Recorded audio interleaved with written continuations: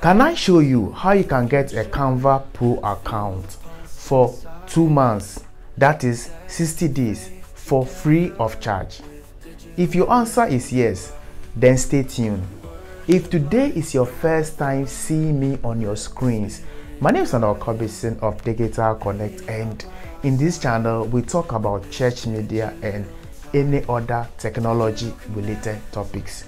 You can go through my videos and you may find one or two videos that might be of help to you. So without wasting much of your time, let's dive right into the tutorials.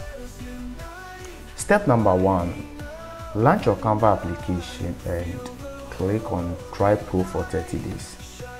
This window will open for you. So you have two options here. You can try the, the Canva team trial for 30 days and then you can try the Canva Pro that's for individual for 30 days. So click on start my free trial. So select the yearly plan and then click on next. So you have the option to use your credit card or your PayPal account. So I'm going for the credit card. At this point you can use your virtual credit card or debit card or you can use the normal cards that we get. So you have two options here. So i'm going to use my virtual card for my bank all right? You select your country here.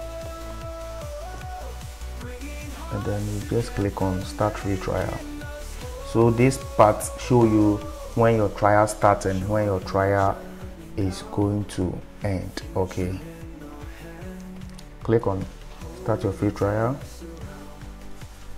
All right so my card have been accepted and I am almost there all right so I have to select which one which of these categories I'm using the pro trial for. So I'll, I'll select personal profile then move on to next. And then welcome to Canva Pro? So my pro have been activated all right and one very good thing about this Canva Pro trial is that you don't need to have money on your card all right? If you have zero balance you can still use it to activate your canva pro account okay? So got it. All right so let's move on to the step number two. For you to get a canva pro account for free all right the next thing you have to do is that make sure that when you activate your 30 days plan create a lot of works okay you create a lot of work. So canva will give you a certificate like this okay? When you create your first 50 designs.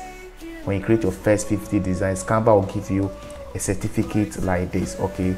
And after that after that keep on creating works okay?